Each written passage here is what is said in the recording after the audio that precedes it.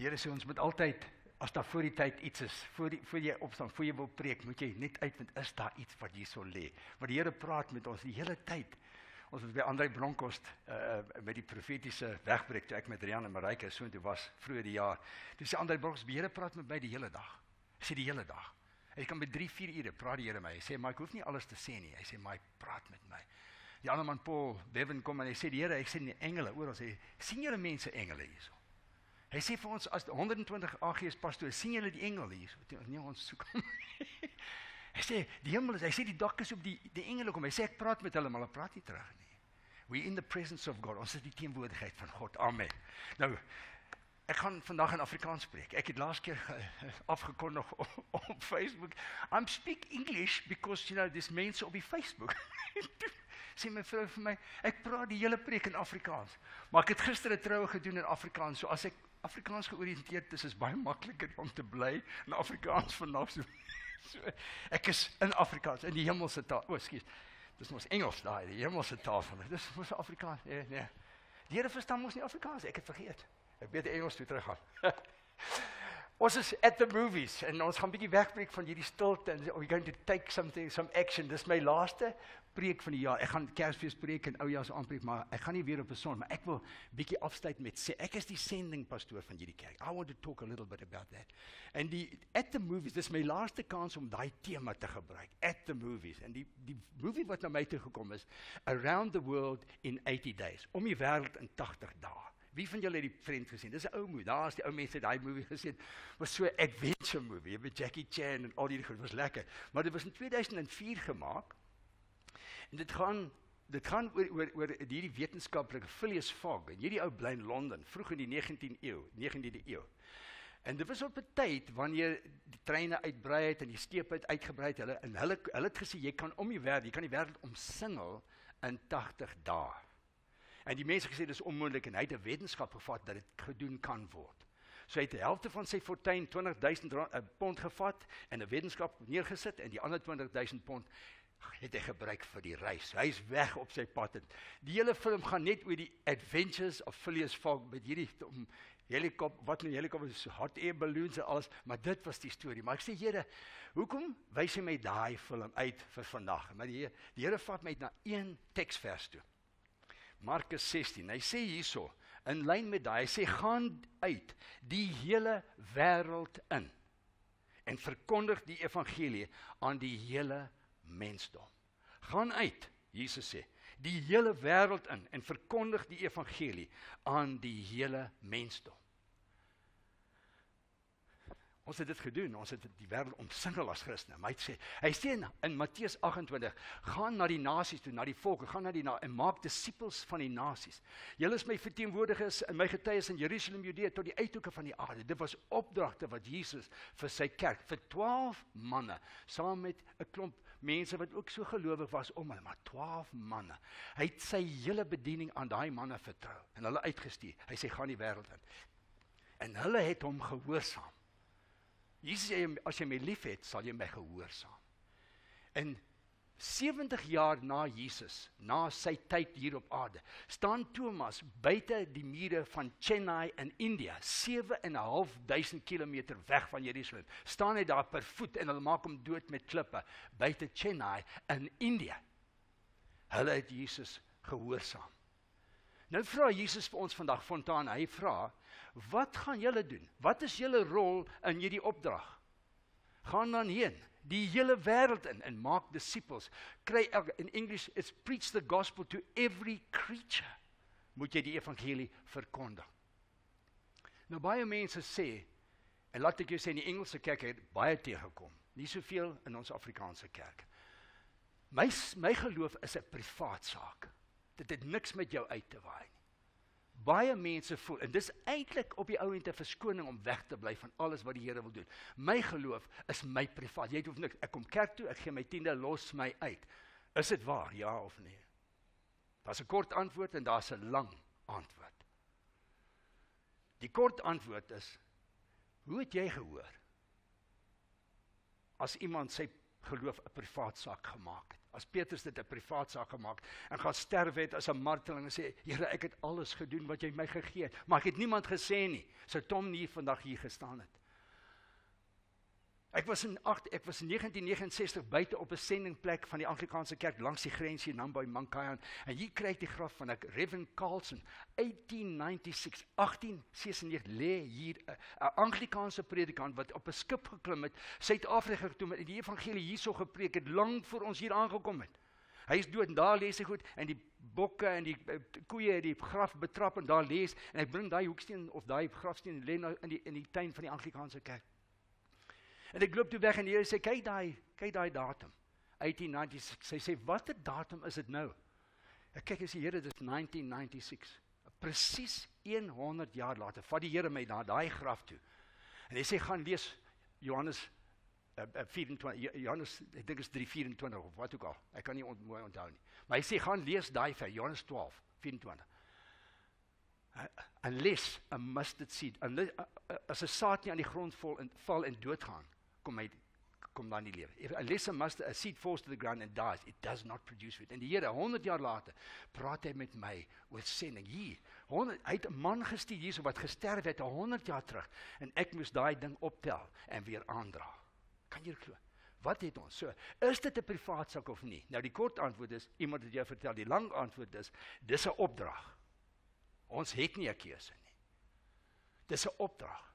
Gaan 1514 keer in die Bybel sê die Here gaan. Gaan na die verlore skape, gaan na die nasies, gaan na die volk, gaan na my mense, gaan na die blindes toe, gaan. 283 keer in die Nuwe Testament. 54 keer in die boek van Matteus staan dit gaan, go. Julle moet gaan en Jesus sê as julle my liefhet, sal julle my gehoorsaam. Dis nie omtrent 'n sending komitee nie. Dis 'n sending aksie. Die tweede rede is omdat daar soveel liefde nodig in hierdie wêreld is. God sê hy het my seun, ek stuur my seun uit liefde. Hy sê in Romeine, ek het my liefde in julle harte uitgestort deur die Heilige Gees om vir mense te gee. Wanneer jy nie liefde het nie, wanneer jy haat en hy sê gee hulle my liefde. Dis alles hoe Jesus het altyd gekyk met kompassie, met liefde op mense, uit liefde. Die Here sê as jy water het in die woestyn en jy het 'n bak water of jy sit langs 'n mooi oase daar met 'n boom en 'n 'n put water, jy sit daar en oor die duin is daar mense wat sterwe en sonder water. Gaan julle los uit liefde. Daar's mense wat moedeloos is, mense wat selfmoord wil pleeg. Die Here sê wie sal gaan en jy sê ek sal gaan, Here. I'll go. Wie sal gaan? So dis uit liefde uit moet ons dit doen. En dan die derde rede, dit is sulke goeie nuus. As jy die lotto gewen het vandag. Hoe lank sal dit vat? Of jy familie in Australië weet, ek het 20 miljoen rand gewen. Binne 2 of 3 minute op Facebook sal die hele wêreld weet, ek het 20 miljoen. Dis goeie nuus. Hier het ons die goeie nuus. Hier lê die boekie. Hy lê hierso. Dis sulke goeie nuus. Ek onthou toe my eerste dogter gebore is. Man, my vrou het lank gekraam, dit was oor die 20 ure, dit was sonoggend toe die toe my dogtertjie uitkom, dis my eerste kind. Ek is so opgewonde. Maar ek wou die hele wêreld sê, hier's my kind. En was nie lank ek sê my vrou, ek gaan vir ouma, vir haar ma gaan sê. Sy bly in die woonstel, sy het ons woonstel kom bly om vir ons te wag. Ek was nou 20 uur by die hospitaal. Ek kom uit, ek staar die kar, maar die battery is pap. Sy ek los die kar, sleutel in ek hardop, maar ek het gehardop. Ek dink die 2 of 3 kg terug na die woon om ouma te gaan vertel, skoonma, ons het dit, jy het 'n klein dogter. Ek het gehardop. Ek wens Ek sou dit met die evangelie doen. Of na mense toe te harte en op by hulle kom en sê ek het iets vir ek het nuus vir jou. Jy weet nie, maar ek het nuus. God is so lief vir jou. Daai Wilson, hy sê in uit Uganda, hy sê al wat ek hulle sê, die prostituie, die drug laws, die moslim, ek sê God loves you. Hy sit nou met 15000 mense na drie wat sê ons vat die antwoord uit God loves us. God, ons het nie geweet daar's iemand wat ons liefhet. Dis die kenmerkpunt van die Christen geloof. God loves us. Nou die vraag is, hoe gaan ons hierdie boodskap uitdra? Julle kyk almal na ek en eh, pastoor Jan en dan ek en Franna en Dirk en die voltydse span. Ons moet iets doen, julle ouens. Ons betaal julle om dit te doen. ons betaal julle om dit, maar laat ek julle net sê. Fontana, ek is so ek is so dankbaar. Ek is so trots op ons visie, op ons missie en op ons strategie. Ons het 'n fantastiese visie. Weet julle dit? Wat is die visie? Pastoor Jan het gevra, ruk toe sê nee, niemand het geweet nie. Wat is die visie? Ek hoor so. Okay, ek gaan so. so. Julle is nou in graad 1, okay. Om om God se heerlikheid sigbaar te maak. Kom ons praat dat hulle op Facebook. Kom ons sê dit weer. Om God se heerlikheid sigbaar te maak. Weet jy wat gebeur het op die troue in Kana? Johannes 2. Jesus vat 600 liter water, hy skep dit in wyn om. Hulle drink daai goed. Dis sy eerste wonderwerk. Doen hy op so 'n klein troue soos ek gister in die bos gedoen het vir Rian en Adrian was op 'n klein troue daar langs die rivier. Kom Jesus na hierdie troue in Kana in Galilea. Hy skep 600 liter water in die mooiste wyn en niemand weet daarvan nie. Maar op die ou sê dis sy eerste wonderteken. Hy sê hy het sy heerlikheid laat blyk en hulle het tot geloof in hom gekom, sy disippels. Dit was vir hulle. So as ons God se heerlikheid laat blyk, sal mense tot geloof kom. So ons het 'n fantastiese visie. Wat is ons missie? Om lewens te transformeer om soos Jesus te wees. Ons wil almal Paul sê aan die Filippense, ons moet almal elke dag word ons getransformeer om soos Jesus te wees. Ons wil almal soos Angus Buchan of Billy Graham of Jimmy Swaggart, ons wil almal soos hulle wees. Hulle glad nie krag nie. Hulle sal dit aan jou erken of ontken. Ek het glad nie krag nie. Dis Jesus, wees so. As jy soos Jesus kan wees, al die krag van die hemel sal in jou wees. As jy met kompassie op die malaats kan kyk en vir daai persoon kan bid soos Jesus gebid het, in die wil van God sal dinge gebeur. So ons het 'n fantastiese missie ook, 'n visie en 'n missie. Maar ons het baie min gepraat oor die strategie. Want die strategie is baie baie belangrik. Ons moes eers die fondament lê van die visie, dan die missie, maar ons het die laaste paar weke begin praat oor die strategie. Ons het 'n strategie. Maar ons laat ons maak dit nou bekend want ons gaan nou begin werk aan daai strategie. Wat is die strategie om hierdie evangelie te verkondig in Pietertief, in Paula tot by Gloui, oor kan die see toe. Wat gaan dit? Ons gaan dit doen. Wat moet ons doen? Wat is die strategie? Drie dinge. Wie kan my sê? Om te identifiseer met Christus, om te infiltreer met daai kennis en om 'n impak te gaan maak. Onthou dit asseblief. Om te identifiseer met Christus en dan te gaan infiltreer in die gemeenskap en die samelewing en dan 'n impak te maak deur jou gawe. Baie maklik. Ons moet 'n visie, ons moet 'n missie, want die die Bybel sê my mense is sonder visie. Ons loop rond en hier praat uh, uh, uh, Lenani vandag van hartseer. Ons is almal hartseer. Wanneer gaan ons die die grootste genesing? The best form of defense is attack. Ons moet aanval. En dis ons strategie. Nou kyk ons vir ek kyk vir Fontana en ek kyk ek sê kom ons kyk hoe lyk ons? Ons wat die, ons doen 'n bietjie van 'n waardasie of 'n evaluation. Hoe is ons identifikasie? Identifisering. Is daar enige persoon hierso wat nie met Jesus identifiseer nie? Is daar? Niemand. So ons identifiseer almal met Jesus. So ons het dit reg en goed gedoen. Al ons mense die op Facebook, al ons lede by die huis of wat oorsee is wat ry op met vakansie, almal se sê ek identifiseer met Jesus. Reg. So we've got the first part of the strategy is nou reg. OK, nou moet ons gaan infiltreer en 'n impak maak. Nou vra ek, hoeveel het Fontane in die gemeenskap geïnfiltreer? Gaan julle vra het ons 'n impak gemaak in Pieterdief. Het Wellspring 'n impak gemaak. Het die NG Kerk, het Joel Austin se kerk, het Billy Graham se kerk 'n impak. Maak ons, maak ons 'n impak, infiltreer die kerk, die samelewing met 'n populasie wat groei tot naby 9 miljard mense, miljard of biljoen mense en 'n kerk wat verminder elke jaar met so 'n paar persent. Hoe in, hoe goed infiltreer ons die samelewing in die gemeenskap? Hoeveel affekteer ons en hoeveel impak maak ons met ons gawes daar buite? Nou hier sit ons, ons het onlangs ons geestelike gawes ontdek. Daar was oor die 80 mense in die drie kampusse van Fontana wat hulle geestelike gawe wil ontdek. Hulle het ingevul, die vorms ingevul en ingestuur. Nou sit ons met hierdie bom. It's like a time bomb, vol gawes, maar hulle wil dit gebruik. Die vraag is, waar? Waar moet hulle moet hulle hier voorkom? Hier staan hier nie, hy sê sy broek skud so so na my. Hy gaan nog baie hard moet werk hier in die kerk. Maar waar gaan ons daai gawe gebruik? Waar gaan ons impak? As jy die gawe van genees het, waar gaan jy dit toets? As jy die gawe van profesie of 'n woord van kennis, jy kan jy dit die Here sê ek het dit aan jou. Elkeen van julle, 1 1 1 het die Here vir jou gegee. Elkeen van julle het 'n gawe. Gebruik julle dit. Ek beskuldig niemand. Ek het jare gesit op my ek het op my 1 sent gesit vir jare lank. Maar die Here sê, Jesus sê, daar kom 'n nuwe ding. Ek gaan vir julle 'n nuwe wyn gee. Moet dit nie in die ou wynsak sit. Hy gaan bars. Die ou wynsak van ons denkwyse oor wat is kerk? 'n Gebou, 'n heilige gebou. Ons moet rustig inkom en sit. Die ou gebou, ons moet so en so maak en daar's 'n hele klomp regulasies. Ek kom uit die katolieke kant van die anglikaanse kerk. Ek ken liturgie, ek ken dissipline in 'n orde, ek ken orde in 'n Ons kom uit daai en dis pragtig. Ek respekteer dit. Maar dit infiltreer nie meer nie. Alles alles is verander. Die ouens ken die storie. Almal haal net hulle iPhone uit en daar's ek, weg is ek. Eersdag het jy vir John Hagee gehoor vanoggend. Ooh, eersdag daai het ons wild gepreek vandag. Hier staan ek Tom McSeveny met my klein kennis by van ek probeer teen John Hagee en Billy Graham en Creflo Dollar en hierdie ouens kompeteer. Almal kyk TBN. Hoe gaan ons dit doen? Ek wil vandag 'n bietjie daaroor praat in die tyd wat die Here vir my gegee het. Ek wil bietjie daaroor praat. Hoe gaan ons infiltreer? Daar's 'n klomp maniere wat ons gaan infiltreer, maar ek wil op twee fokus vandag. Kom ons kyk net gou na die wat ons klaar doen. Ons is al klaar die gemeenskap van die gelowiges. Ons identifiseer met Christus, ons sit hier so as kerk. En die ou wynsak sê, ons het 'n sendingkomitee, Tom doen sendingwerk.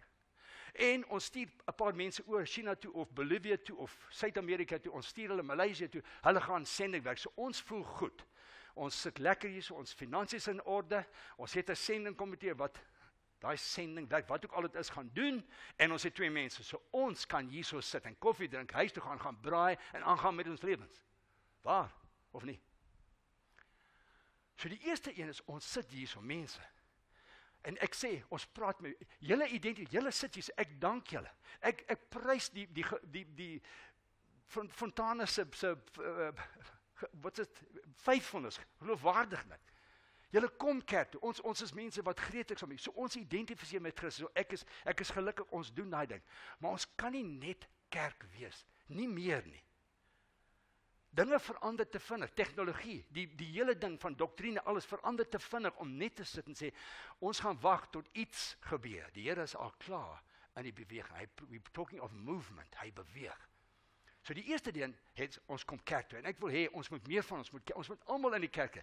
Ek wil nie hê dat ons moet vol sit sodat ons nog 'n diens moet hê. Kyk hoe goed is ons, ons het baie mense. Ons het meer mense persentasiewyse betrokke in hierdie kerk as baie groot kerke. En dis wat die krag van die kerk lê. En the sending capacity, not the seating capacity. En die sending geleentheid, nie die hoeveel sitplekke sitplekke maak ons vir. Die tweede een is ons het twee kampusse oopgemaak hierdie jaar.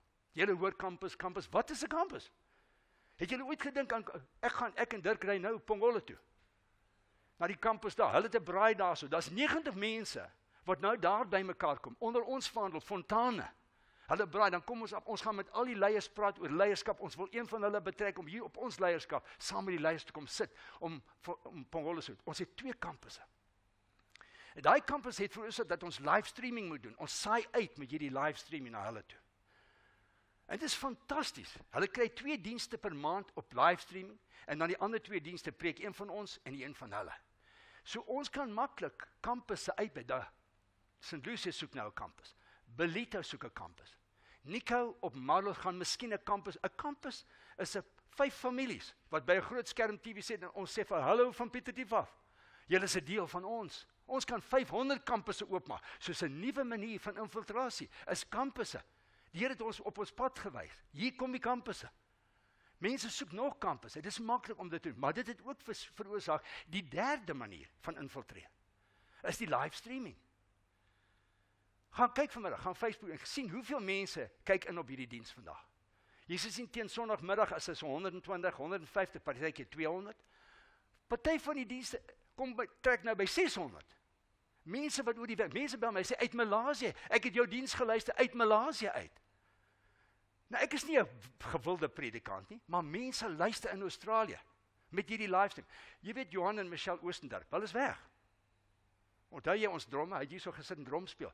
3 weke terug was hy nog 4 weke nog 'n lid van Fontana Pier. Hy's weg, hulle sit in Nieu-Seeland. Hy bel vir hom en sê Rian, ons tyd is uit. Ons het 'n mooi kerkie gevind. Ons gaan 8:00 die diens in die oggend en 8 uur later kyk ons die fontane diens die middag by die huis. Ons is saam met julle in Nieu-Seeland. Ons infiltreer deur live streaming. Ek kan hierso sit. Ons het 30 pastore uit Uganda, Kenia, Tanzanië, Zimbabwe. Ons kyk uit Panama uit wat Pieterdief toe kom. Nou kan ek vir hulle sê Fontana at ppp.ccc.hashtag wat ook al die fancy ek weet nie daai fancy goed nie. Maar kan vir hulle sê Woensdag aand 15 Desember gaan ons uitsaai oor iets oor DMM disciple making move. Hulle kan oral in Oos-Afrika almal inskakel en kyk na die opleiding uit Fontana uit. Hulle was by ons DBS groep. Hulle wil weet, hoe doen jy DBS? Ons wil dit leer vir Kenia, Uganda, Tanzanië, Somalië, Sudan. Hulle wil weet, wat maak julle? Hulle was hier. Ons het 5 groepe gehad hierso. 3 3 3 van die swart pastoor uit Oos-Afrika. Ek kan nou uitsaai na hulle toe met een broadcast. Hierso net met ons. Dis hoekom ons 250 000 rand het. Nie om 'n fancy klankstelsel te hê nie. So that we could live stream. So dis die derde. Die vierde een is ons leierskap, is ons bedieningsraad, ons bedieningsplatform. Ons het oor die der, ons het 34 bedieninge in die kerk. En hierdie bedieninge gaan aan. Hulle hulle infiltreer die gemeenskap. Hulle hulle vorm 'n nuwe leierskap van Fontane. Hulle moet 'n visie hê. Hulle moet 'n begroting insit vir volgende jaar. So ons weet hoe groot is daai bediening se visie vir ons. So dis pragtig om te sien. Hierdie bedieninge staan op. Daar's 34 bedieninge. Oor die 100 150 mense wat betrokke raak is in Fontana in bediening. So dis nog 'n infiltrasie. Hulle infiltreer by die werksplek, by die rugbyklub, op die sportveld en die besigheid en die sakewêreld. Ons infiltreer op daardie manier. Deur om 'n lewendige bedieningsraad wat toekomstige leiers is op te bou. OK, so dis 4. Nou kom ons by die 5de, die twee waaroor ek so bietjie wil gesê. Maar ek gaan eers vir Henny vra om hier so byvoorbeeld by my te kom staan. Ek het hom heeltemal betrek vandag. Ek het Dirk bietjie ruskans gegee vandag. Ek wil met julle bietjie praat oor die DBS, die Discovery Bible Study, ontdekkings Bybelstudie wat ons nou. Weet julle daarvan? Wie van julle weet van ons DBS groep? Sit jou hand op. Ek wil weet hoeveel mense weet. OK, kom ons sê hoeveel mense weet min of niks van die DBS. Sit jou hand op. Wees eerlik asseblief. Dat ons net sien mense, jy weet, dis die probleem. Ons weet nie wat aangaan en jy weet ons het laas jaar na Alpha, na die Alpha kursus, het ons besluit om hierdie groepe te begin. Ons het met 7 of 8 groepe begin. Ons staan nou op 13 groepe. En ek wil hê Henny wat 'n stigter was van een van die groepe, hy was een van die foundation members. Hy het sy groep gegroei na 2, na 3. Ek wil hê hy moet bietjie net vir 2 of 3 minute, 5 minute vir ons vertel. Wat is DBS en wat gaan aan in die DBS asseblief Henny? As 'n infiltrasiepunt. Dit raak vir my moeilik om net 3 minute te praat. ja, om Tom het reg gesê, na die ehm um, alfa kursus het ons met ek dink 7 of 8 groepe begin. Ons is nou 13 saam met Pongala en Amsterdam is ons 20. Ehm um, die groep wat ek van die Alfa af het is nou in 3 groepe al verdeel, so daar's 3 leiers. Ehm um, maar kom ek vertel julle DBS Discovery Bible Study. So wat ons doen is uh die leierskap gee vir ons woord. Ehm um, hy gee hom deur na die leier toe. Jy deel dit nie met jou groep nie. En dan op Woensdae aand kom ons bymekaar ons lees die woord 3 of 4 keer deur. Ehm um, eers doen ons ons weet of daar enige getuienisse is. Ons deel getuienisse met mekaar. Party van ons is eers in lofprysing en aanbidding. En dan lees ons die gedeelte 3 4 keer deel. Ons het nou die voorreg gehad om uh mense te hê van Kenia en Uganda en Zimbabwe. Dit was vir ons 'n leerfase en vir hulle. Dit was lekker geweest om van die groepe wat daai mense gehad het te kon saam deel en te kon saam praat. Um, ons groepe kan dit nogal getuig daarvan. Maar dan lees ons die gedeelte en jy discover iets. Daai oomblik wat die Here met jou deel. En ek sê nie vir jou Piet of Koos of Jan jy's verkeerd wat jy discover het nie. Ons praat oor daai discovery. Want die Here maak vir 'n woord vir my oop in my situasie. En hy maak dieselfde woord oop vir hom Tom of een van julle dieselfde woord maar in jou situasie en jy verstaan dit anderste. Want die Here ken elkeen se hart. So ja en dan discover jy dit saam met daai mense. Maar die groot ding is dan dan vra ons mekaar waar sien jy die mens se deel in daai stuk wat jy gelees het? En dan antwoord ander. Ons het 'n ons noem dit in ons groep paaseier. Jy word 'n paashaas om Tom ek jou nie gesê nie. Jy kan sê paas as ek vir jou vra wat sien jy? So as jy 3 keer gepaas het word jy paas haas. Jy mag nie meer keer as 3 keer sê paas nie. Dan vra ons, waar sien jy God in hierdie deel wat jy lees? En uit jou eie woorde uit verduidelik jy waar sien jy die mens? Waar sien jy God in hierdie deel? En dit is wel wat uit daai gedeeltes uitkom. Dit is jy leer. Ek bedoel om Tom en Rian kan nie vir ons alles vertel hier van vooraf nie. En ek sê altyd vir hulle ek weet as hulle hier voor staan praat hulle die waarheid. Want ek gaan nie in hierdie kerk behoort as hulle nie die waarheid van die woord verkondig nie en hulle doen. En daar in die describe Discovery Bible Study vind jy die woord. Jy jy leer die woord en jy kry 'n liefde daarvoor en jy kry dit 'n begeerte in jou hart om dit by te woon. So ek wil julle aanmoedig. Woon dit by. Ek het nou twee Sondae terug hier gestaan en die Here op my hart gelê oor ons almal is die liggaam van Christus. Ons maak die liggaam. As die hand seer het, dan die, die hele liggaam seer. Maar as die hand besluit hy gaan nou sommer wegbreek, dan gaan die liggaam in Engels suffer. So ons wil julle almal betrokke kry. Ons sit hier so 2 300 mense op 'n Sondag. Ek dink die gemeentelede is wat 850 of dalk meer. En ons is 13 groepe. Die groepe is so 8 tot 14 uh mense in 'n groep. Party van die groepe is groter. So daar's baie spasie. Ons wil 40 groepe, 60 groepe, 80 groepe stig. En dan wil ons uitgaan en dis sonder Amsterdam en Pongola. Goed en dan kom die die krits van die ding wat jy het nou vir my vertel wat sê die woord vir jou. Wat sê sien jy God en waar sien jy die mens? Maar wat doen jy daaromtrent? Wat jy daar uit leer? Wat sê die woord van ons in Matteus 28 vers 19? Gaan uit. So gaan uit. Gaan deel daai discovery met iemand. Dis soos om Tom net gesê het. Jy wil eintlik hardloop met daai woord na iemand toe. Want jy dit discover. Want ek bedoel jy hoor dit uit 10, 12, 8 mense se mond uit wat hy daai aand discover het. So ja, ehm um, kom raak deel daarvan. Kom raak deel van die liggaam. Elke een van ons het 'n gawe. Die Here vertrou jou met 'n gawe. En ek het mense gesien. Ek en Maritjie het dit self beleef in ons lewe jare terug toe ons teruggekom het van Newcastle af. Was ons vir jare nie in die gemeente nie. Want ek het sleg gevoel. Ek het gedink as ek by daai deurne stap gaan die mense sê, "Hey, waar was jy?" Hoekom sien ek jou nou eers? Jy's al jare hier. Maar dit is nie so nie, dis 'n leuen van Satan. Die mense ontmoet jou hier. Hulle is vriendelik. Hulle verwelkom jou. Sê, "Hier, baie dankie dat jy hier is. Weet jy wat kom?" En dan raak jy deel. En wie wat, jy gaan nie hier voor nie almal het die vrymoedigheid om hier te kom staan en te sê die Here het hierdie woord vir my gebring. Of die Here deel hierdie met my wat ek met julle moet deur nie. Maar in die DBS begin die ouens losraak. Losraak in die gees. Losraak in die woord. Want dan begin hy in tale praat. Hy begin deel, hy begin profeteer. En so raak jy betrokke. En voordat jy ooit gee, as jy soos ek hier 3 keer op 'n Sondag het om Tom jou vra. Dan moet jy hier voorkom staan en kom deel. So ja, want jy wil nie ophou babbel nie, jy wil nie ophou praat nie, om Tom skies ek.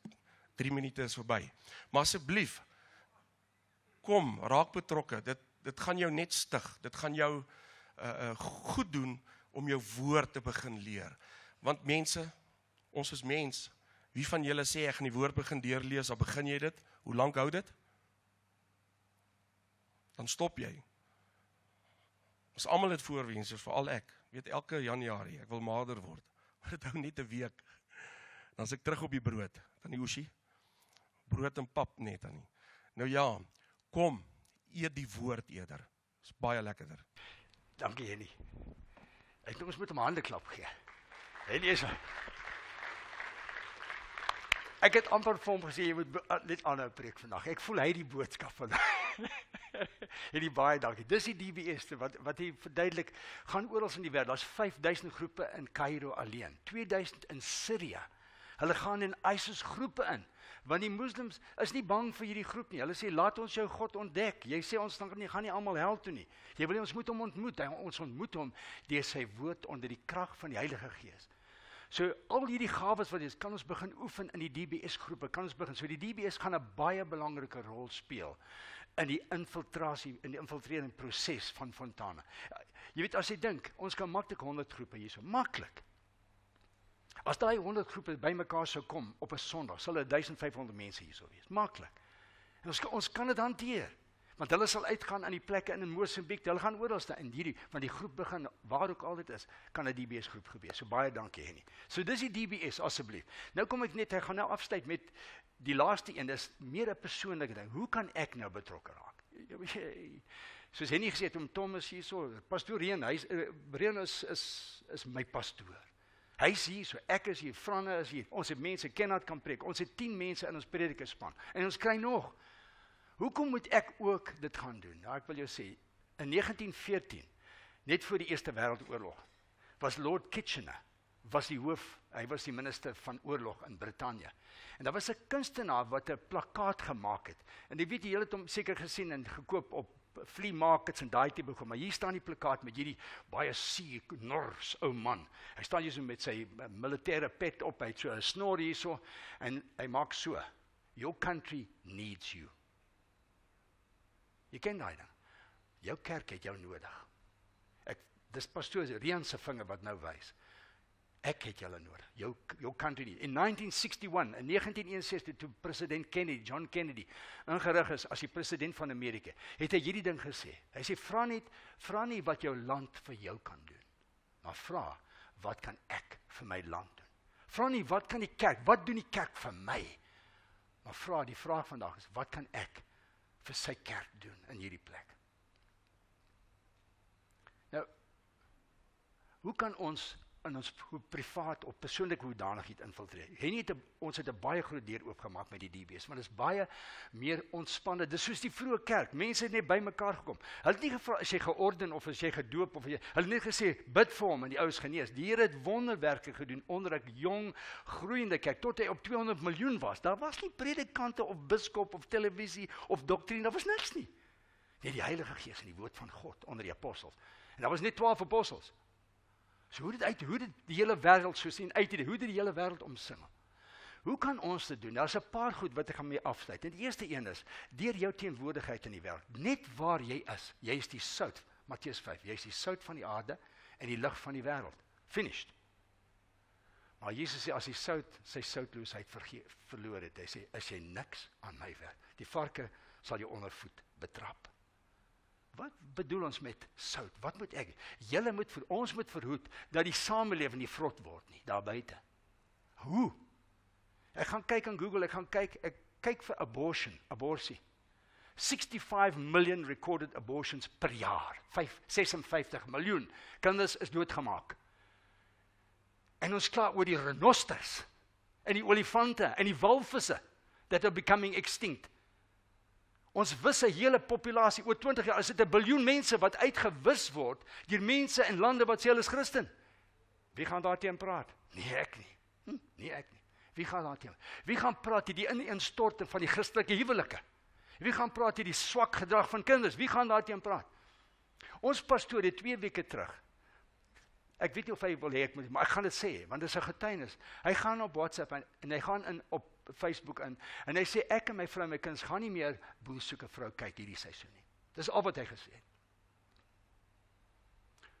Daai dag kry hy 64 mense wat hom uitskel, Christenmense. Dis Christen maar wat hom vervloek het. Hy sê jou kinders mag hulle almal moffies wees omdat jy dit gesê het want jy oordeel jy's liefdeloos. Hy het nie eens gesê wat hy doen want hulle bring die, die gay element in by boer soek 'n vrou. Die gay boere gaan mekaar soen. OK. Hy nee. Moet ons dan ons pastoor lei die pad. Hy hy hy, hy het dit gesê. Ons moet hom ondersteun. Maar ons het 2 weke terug Dirk ons het daai aand by ons DBS aandete doen ons Efesiërs 5. In Efesiërs 5 sê Paulus jy moet niks te doen hê met die dade van die duisternis. Hy sê inteendeel jy moet hulle ontbloot Hy ons mag nie daaroor praat nie. Ons is liefdeloos om te praat oor die gays. Homoseksueel. Ons moenie daaroor. Ons mag nie. Dit kom binnekort. As ek dit hierso gaan preek, miskien oor 5 jaar gaan my toesluit. Gaan nie meer vryheid wees nie. Ons gaan toegesluit word om dit te doen. So hoe gaan ons dit regkry? Met 5000 DBS groepe. Probeer daai goed dit gaan toemaak. As hulle die woord sê, maar dit staan hierso. No gay or homosexual offender will enter the kingdom of God. Niemand wil die vraag antwoord. Is dit 'n sonde om gay te wees? Nie liefde of nie liefde. Is dit 'n sonde om 'n drank dronklap te wees? Jy gaan nie. Is dit 'n dronklap of 'n dief 'n sonde om 'n dief te wees, om 'n leienaar te wees? Maar ons wil nie daai vraag. Ons wil hom in 'n hele klomp uh, administrasie en discussions sit. Ons moet bespreek hierdie punt. Ons is die sout van die aarde. As ons sout is, is we gone. Ons is die lig van die wêreld. We must be the example. Stel jy 'n voorbeeld. Vra julle duidelik vandag. Waar jy werk, waar jy leef in jou huis met jou kind, met jou bediende, met jou familie, stel jy 'n voorbeeld. Ek gaan net een ding sê hieroor. Ons is die lig van die wêreld, soos jy nie gesê het. Klein liggie, maak nie saak. Ons is die lig van die wêreld. En Paulus sê in 1 Korintiërs 11 vers 1 sê hierdie ding. Luister mooi. Julle moet mooi luister want dit het my so geskok na amper 40 jaar in die bediening. Hy sê: "Volg my voorbeeld soos ek Christus se voorbeeld volg." Wie kan dit vandag sê? Wie van julle sal vir jou kind, jou werknemer, jou werkgewer, vir jou vriend, jou vriend, jou familie, jou pa sê: "Pa, volg my voorbeeld soos ek Christus se voorbeeld volg." Nee, ons sê: "Volg Jesus se voorbeeld." Dis perfek. Dit laat my toe om hierso te doen wat ek wil. Hy sê nee, nee, nee. Hy sê ek staan hier voor julle, ek Paulus, hy sê volg my voorbeeld. Hy sê nie volg Jesus nie, hy sê volg my. Hy het so selfvertroue gehad. Hy sê ek is nie perfek, ek is die ergste sonde, maar volg my, want ek volg die voorbeeld. Hier's 'n lewende voorbeeld van Jesus. Kan jy dit wees? In jou huisgesin. Kan jy dit wees vir jou werkgewer op jou kan jy dit wees in jou maatskappy? Waar ook al jy in die wêreld kan jy dit wees, the light of the world. Die tweede ding is ons moet mense oortuig The days of hit and run evangelism are gone. Om 'n mens te dwing en te dryf en sê jy gaan hel toe, boetie. Daar's tyd vir om dit te doen, maar dis nie altyd nie. Om mense te oortuig. Hoe oortuig ek 'n mens om te sê sit met my? Jesus kom met daai put, Jakob se put. Hy praat met daai vrou. Hy sê gee my 'n bietjie water. Sy sê, "Here, jy's 'n Jood, ek is 'n Samaritaan." Hy sê, "Vrou, as jy weet wie jou met jou praat, sal jy lewende, hy sal vir jou water gee, lewende water." Sy sê, "Gee my daai water." Hy sê, "Ek kan vir jou lewende water." Sy gee, sy sê, is jy groter as Jakob wat hierdie put gegrou het? Hy sê die water wat ek jou gee sal in jou 'n borrelende 'n fontein word. Maar hy sê gaan roep jou man. Sy sê ek het nie 'n man nie. Hy sê jy het 5 mans gehad. En die een met wie jy nou bly is nie jou man nie. Sy sê Here, ek sien jy's 'n profeet, meneer. En toe kom sy by die punt. Sy was verwar, soos mense verwar is oor die groot doop en die klein doop en die tale met al hierdie TB en programme en vals Christusse daarbey. Sy was verwar. Sy sê, "My voorvaders het my vertel ek moet op hierdie berg soos die Sangomas en die Shangans en die Shembes, so, ek moet dit so aanbid." Julle voorvaders sê, "Ons moet in Jerusalem in hierdie pragtige tempel kom." En sy wou aangaan toe sê, "Stop, vrou. Jy's verwar. Die tyd het aangebreek en is nou dat die ware aanbidders die Here sal aanbid in waarheid en in geloof. Wat het daai vrou gemaak? Sy was 'n man of peace, soos die DBS noem. Sy gaan na 'n gemeenskap toe, sy sê ek het hom gekry. Hy het met eintlik was sy 'n prostituut, wat was sy? Maar sy het 5 mans en nog een gehad. Hy gebruik haar om daai hele gemeenskap na hom toe te trek. Nie in die kerk gaan staan en gesê mense, my mense, volg my. Hulle sê ons soek jou nie. By sondaars het hom gesoek. En toe kom hulle almal uit. Daai hele gemeenskap was amper tot bekering deur daai vrou wie hy oortuig het. Paulus, as jy kyk aan die boek van Handelinge, gereeld hierdie boek van Handelinge sê Paulus was in die markplein besig om mense, die Grieke en die Jode te oortuig dat Jesus die Christus is. Die koning Agrippa Toe Paulus voor hom staan by sy hofsaak voor die koning van Israel, hy staan voor Agrippa en Festus en Agrippa sê Paulus, amper oortuig jy my, amper. Maar moenie dink jy my, maar amper het jy my oortuig want jy Paulus is altyd oortuig mense. Mense is verwar, sit met hulle. Vat tyd en daar kom die DBS in. Waar mense kan sit en sê, "Maar my, ek voel nie. Ek voel hierdie woord sê so. Bless you." En as ons kom op 'n punt waar ou sê, "Ek dink Jesus kom van 'n ander planeet af," dan sê jy, "Dis baie interessant." Ja, maar ek my pa het gesê Jesus is 'n mage en dit is baie interessant. Dis al wat ons sê vir daai. Maar op 'n DBS kan jy hier jy kan mense stadig oortuig. Die woord doen die oortuiging. Die Heilige Gees kom en hy oortuig mense. En ons luister vir mekaar. Kon dit sê hierdie teks vir sê dit vir my en selfs sê vir my, maar ek voel hierdie ding en Benny sê, maar ek sien hierdie punt en ek sien al die ander mense se punte. Ek het dit nie raak gesien. Ander aand op 'n DBS het ek 3 punte gekry uit 'n stuk. Hulle, die swartes het 27 punte gekry. Uit daai selfde teks vir. Ek het 3 gekry. So jy moet liefes hulle kry om te kom preek want ek sien baie min raak. wat hulle raak gesien. Ek het dit gesien. Daai vrou sê ek het dit gesien. Ek het dit nie eens raak gesien. Ons ontdek, ons vat tyd om mense te oortuig, stadig maar seker. Vra hulle, wie is hierdie Here? Die moslems vra Wie is hierdie Here wat ons liefhet? Want ons het nie daai ding, daai liefde. Ons het wet, ons het orde, ons het wette, ons het die al die goed, ons het die Koran, maar ons het nie daai een ding. Liefde. Hy sal dit kry. Oortuig hulle. Verkondig dit, vertel mense die evangelie. Vertel vir hulle die evangelie. Almal van julle sê ek is te bang om dit te doen. Ek het julle gewys met die hand. Onthou julle, ek het die handlees. Ek gaan hom nie weer doen nie, maar ek het julle gewys. Jy kan maklik met hierdie 5 punte kan jy die, die evangelie verkondig aan 'n persoon. Maar nooi iemand kerk toe. Ek sien jy so was uh uh Mark, was Mark. Was dit Mark? Mark sê Mark het iemand gebring kerk toe. Baie dankie Mark. Jy's welkom. Bring iemand kerk toe. Ek gaan weer die storie vertel, baie vinnig. Albert McMakin, 1934, die jaar 1934 in die Midwest van Amerika. Hierdie jong man kom tot bekering, Albert McMakin. En dan kom 'n tentveld tog na sy stad of sy dorp en buite die stad is die tentveld waar elke aand is daar program die evangelization, hy preek en die man preek en die man preek. Hulle kom tot bekering en hy het mense, die jong mense met sy trok, ou trok 1934 gebring na die ding uit. Hulle oorlaai met mense om te kom en bekeer. Hy was aan die brand vir die Here. Maar daar was 'n jong man wat nie wou saamkom nie. En hy daai man gesoebat en gesoebat en my wil nie maar nadat vat hy sy sleutel uit en hy sê jong man as ek jou toelaat om my trok te bestuur met al die jong meisies agter sê jy kom sê nee ek sal kom. Sy vang hom met so 'n slapperie hy bring hulle kuier hy nou staan hy buite hy dog wel anyway as jy gaan nie hy stap toe binne die tent en hy staan daar se in. As staan die Here hom plat. Hy is tot bekering daai jong man het met 215 miljoen mense die evangelie gedeel gedeel. En hy het, was die vriend van 10 Amerikaanse presidente. Dis Billy Graham. Maar die dokter Albert Mike Mike het so gemaak het en sê, "Sal jy bestuur? Daai klein besluitjie, sal jy saamkom? Sal jy daar sê hy sê, "Ja, daai besluit, daai sleutel. 215 miljoen mense het die evangelie gehoor. Wie het jy genooi? Wat miskien die hele van Pieter die in Suid-Afrika gaan oorrompel?" Maar hy sit daar buite. Hy word nie genooi nie. Nooi hom in.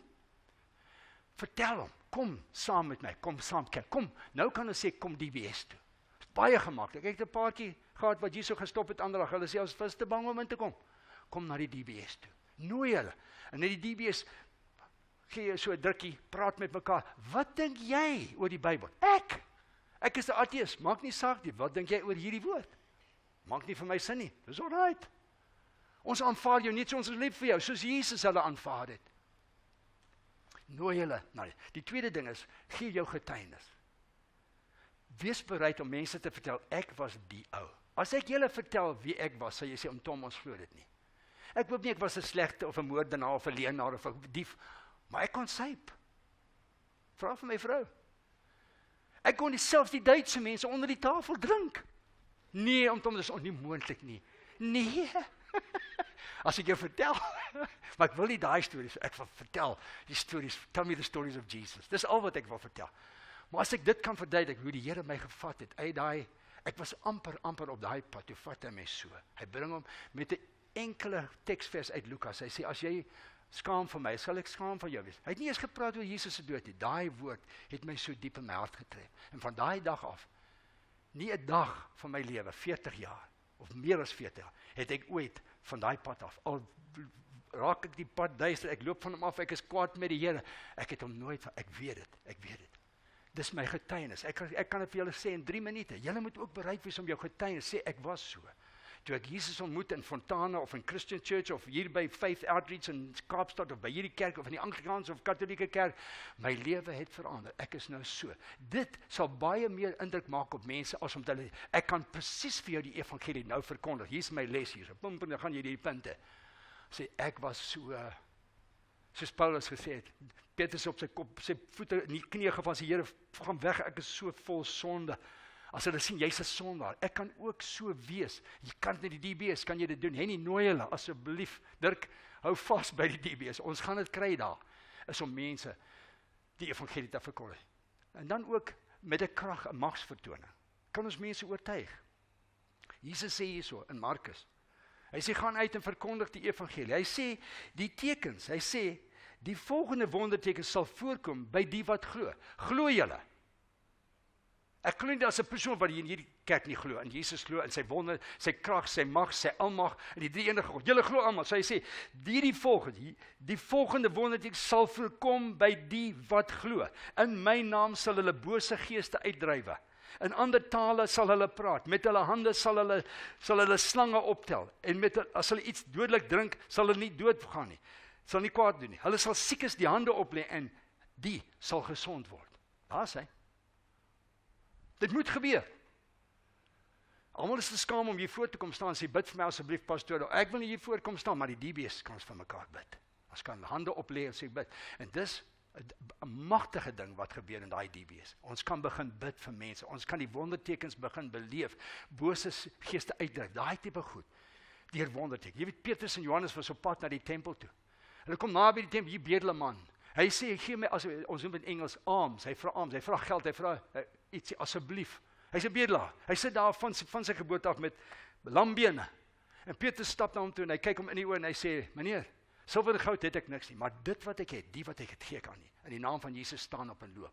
Dit was die wonderteken. Maar die wonderteken was die heerlikheid van God was sigbaar. Toe kom al die mense aangejaag want die heerlikheid was daar. Toe kom Petrus vir hulle vertel, dis nie ek nie, dis die Here Jesus Christus. Jy het hom gekruisig.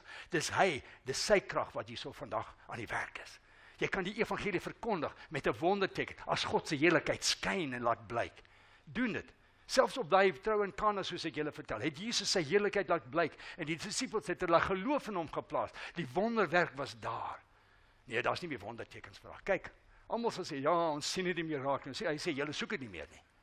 Ons sien dit nie meer raak, maar dit is daar. Ons sal weer op baie pad kom. En die laaste een is gebed. Bid vir mense. 2 Korintiërs 4 vers 4. Luister, luister hierna. Luister mooi. As die evangelie wat ons verkondig tog nog met 'n is die as die evangelie wat ons verkondig tog nog met 'n sluier bedek is. Nog met 'n sluier bedek is. Is dit bedek net vir die wat verlore gaan? 95% van die wêreld. Hulle is die ongelowiges wie se verstand deur die god van hierdie wêreld verblind is. En dis nie Jesus Christus nie. Dis die duiwel. Paulus sê die god van hierdie wêreld verblind hulle verstand sodat hulle nie die lig van die evangelie hulle dit nie kan sien nie, hè nie? Die lig is weer daar. Dit is die evangelie van die heerlikheid van Christus wat die beeld van God is. So daar's 'n sluier wat hulle verstand bedek. Daai mense wat byt, wat kwaad doen, wat mense vermoor. Ons sê, maak hulle dood, maar ja, hulle moet betaal daarvoor. Ons moet betaal vir ons sonde. Maar daar's 'n sluier oor hulle verstand. Nie hulle oë nie, maar hulle verstand. Hulle verstaan nie, want die lig van die evangelie is nog nie daar nie. Ons het dit nog nie gevat aan hulle nie. Ons moet vir mense bid. Die dag toe ek tot bekering staan, ek daar's 'n jong man. Ek was 25 jaar oud. Hier kom 'n ou sendeling. Hy kom na my toe. Hy sê: "Tom, ek sien jy het vandag of vanaand jou na, jou lewe aan die Here oorgegee." Hy sê ek bid 13 jaar vir jou. Elke dag van my lewe het ek vir jou gebid. Vir wie bid ons? My familie, my kind, my oupa, ouma, my skool, my geld, my besigheid, alles Here, laat my goed asseblief. Wie bid in die DBS kry ons die geleentheid om vir mense te begin bid. Kom ons bid vir daai Dirk, ek bid vir daai drie ou mans daar op daai plek. Ek bid vir daai mense, vir daai manne. Ah, iets in hulle lewe sal ons begin bid en deel Moody het 'n lys gemaak in sy sak met 'n potlood en 'n stukkie papier wat hy al sy lewe gedoen het. Hy het 100 name geskryf, Piet en Sannie en Jakob en Dawid en Elias en alles. Hy het 'n naam, 'n lys gemaak. Hy sê ek gaan vir hierdie mense bid. Dis 'n kragtige ding om te doen. Teen die tyd van sy dood was 96 van daai mense tot bekering. Die laaste 4 op sy begrafnis. 100 out of 100. So dis die krag van die DBS. Ons gaan begin bid vir ons buurman wat nooit kerk toe. Hy wil nie kerk. Hy haat die kerk. Hy haat vir my. Hy haat sy vrou. Hy haat alles. Hy's kwaad. Hy wil net trek my. Hy kan nie. Hy het nie geld nie. Sy kinders sit in Londen. Hy wil soontoe. Almal is kwaad soos Lelani gesê het. Hier kry ons die geleentheid. Die kragtigste ding wat ons kan gebruik is die krag van gebed. Ons kan vir hulle bid. Ons gaan vir Pongola gaan bid. Ons gaan vir Amsterdam bid. Ons gaan vir Louis, ons gaan bid. Kom ons bid. Dis een van die magtigste maniere om die evangelie te verkondig. Dis jou eie private bediening. Nou kom ons kyk. Ek vra met die DBS en met die hulp van die DBS en die bedieninge en alles wat waaroor ek vandag gepraat het. Kan ons saamstem? Ek gaan julle vra om te staan en weer julle hande op te steek. Ons gaan dit nie vandag. Ek sal nie. Ek ek praat uit geloof uit. Ek sien hierdie kerk met 400 mense volgende jaar.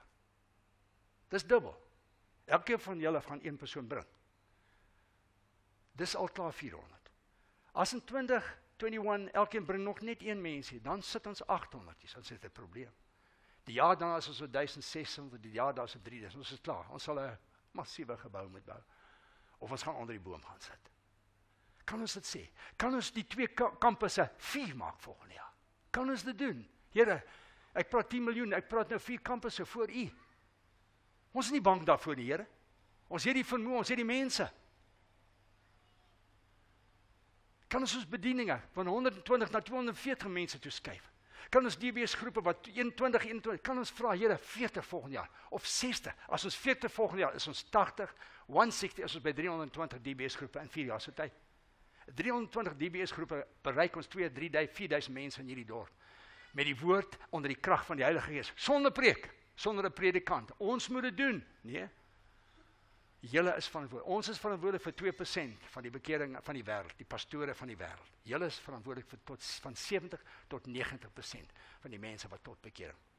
Ek sluit met hierdie vers af. En dit is my gebed, my hart vir Fontana vandag in in ons pastoor se afwesigheid. En met sy toestemming. Luister mooi wat sê Paulus aan die Romeine. En vir elkeen van ons is dit 'n woord. Want elkeen wat die naam van die Here aanroep, sal gered word. Elke Chinese sakeman, elke Ethiopië, elke Nigeriese drug lord wat die Here se naam aangaan gered word. Hy sê maar hoe kan 'n mens hom aanroep as jy nie in hom glo nie? En hoe kan jy in hom glo as jy nie van hom gehoor het nie? En hoe gaan jy van hom hoor sonder iemand wat preek? En hoe kan iemand preek as hy nie gestuur is nie? Daar staan ook geskrywe: Hoe wonderlik klink die voetstappe van die wat die goeie boodskap bring. Hoe wonderlik klink die wat die tronk deur kom oopmaak vir jou. Die wat die Here kom bring. Die hoe wonderlik klink die voetstap. My gebed vandag as ek afsluit met die nagmaal vir Fontana is dat ons voetstappe van hierdie kerk wonderlik hulle mense sal dit as wonderlik aanskou en beskou en uh, they will they will experience sal dit ervaar as wonderlik. En dat elkeen van ons sal onthou dat as ek so intoe loop met daai evangelie in my hand, sê die Here dit is wonderlik. Hoe wonderlik klink daai vir die man wat sê ek het nie hoop nie.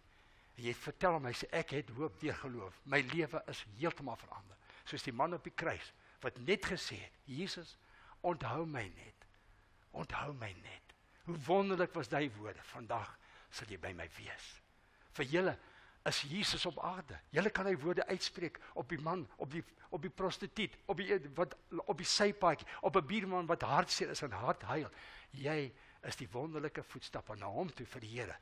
En ons kan dit ook met die DBS doen. So ek sluit af baie baie dankie. Here seën vir julle. Ons gaan nou die nagmaal geniet. Ek gaan Dirk vra en ek gaan vir Konrad vra na vore toe te kom. Ons gaan hier voor na vorentoe kom om die nagmaal te geniet. Maar ek voel vandag dis nie 'n groot ding, maar ek voel iets in my hart toe ek met die gebedsspan en die profetiese span en die aanbiddingsspan gepraat het.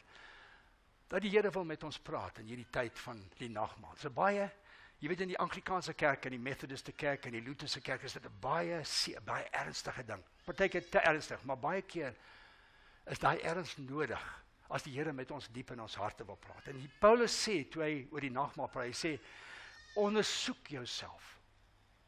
Ek wil nie vir jou sê gaan kyk waar al jou sonde is en kom bely hulle hier by dit. Dis nie dis nie glad nie wat dit beteken. Hy sê ondersoek jouself. Ons gaan 'n tydjie vat, net so 20, 30 sekondes vat. Wees soek jou hart. As daar iets is wat daar wegsteek, haal dit uit vandag. Laat dit vry vandag. Ja, ek kry mense wat jy bid vir genesing. Dan as jy uitvind op hy het sy pa vir 40 jaar nie vergewe nie. Hy's nou siek. Sodra hy sy pa vergewe, is hy gesond. Vergewe. Kom ons doen dit met 'n opregte hart voor die Here vandag. Ons gaan vir 'n paar sekondes net ons eie harte deursoek. En ek gaan vir Lelani vra, Lelani, is jy nog hier? Waar? Sê kom, okay. Would you come? I, I can't. You're going to play God is so good for us. And in, the, in those words are the words of, of that, that, that verse before the chorus. Mandy, sal jy kom asseblief? Die die span. Daai woord het my so getref vandag, sy bloed wat gevloei het vir ons. Ons gaan dit ervaar in hierdie nagmaak. Maar kom ons terwyl hulle regmaak, net 'n oomblik ons ons hoofde buig. Kom ons buig ons hoofde. Ons gee die Here 'n kans om in my hart te kom praat. Dawid sê, "Deursoek my Here." Search me, O God, and see if there be any wicked way in me.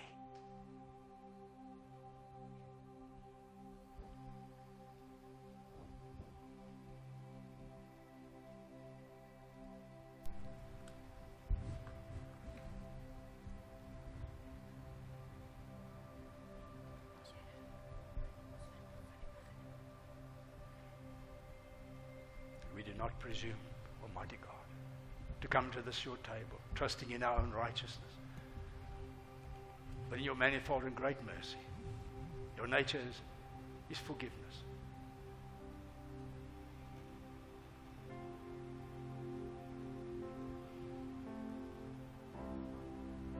We're not worthy so much as to gather up the crumbs under your table.